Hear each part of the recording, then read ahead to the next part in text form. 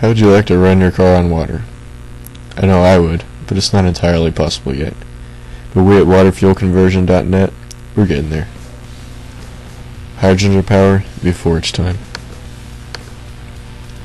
We get a lot of questions about this technology. How does it work? Is it safe? Will it harm my car? Will it void my warranty? And how much does it cost? We'll start out with how does it work? In a nutshell, a small and safe electrical current is drawn from your car's battery. This electrical current is then fed into a small water reservoir. This electrical current will then separate water molecules into HHO gas, which is a stable, clean-burning gas, also known as Brown's gas.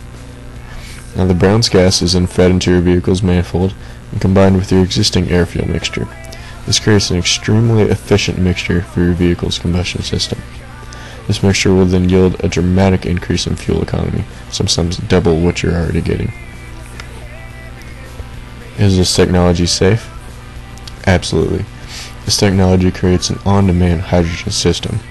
This means there's no storage of dangerous hydrogen gas anywhere. The hydrogen that is created is used instantly, creating no danger to you or your vehicle. Combustion that is created with this mixture is safer than combustion created by gasoline and air. Brown's gas burns cooler and burns cleaner, therefore yielding a safer mixture for you and your vehicle. Will it harm my car? Absolutely not. As stated before, the mixture burns cleaner and cooler than your current fuel mixture. There's no danger to you or your vehicle using this technology. You can actually expect added power and added engine life due to the cleaner burning mixture. Will it void my warranty? No, it won't. The conversion is 100% reversible. Conversion itself takes around an hour to do, but can be easily removed in less than 10 minutes. Any modification that is completely reversible puts your car in no danger of losing its warranty. How much does it cost? The parts for the conversion can be obtained anywhere from 50 to $100, depending on the guide you obtain. Some guides are better than others. There's several guides floating around the internet, all of which use similar methods, but may call for different parts. What we'd like you to do is visit the address below to find the right guide for you and your water car conversion.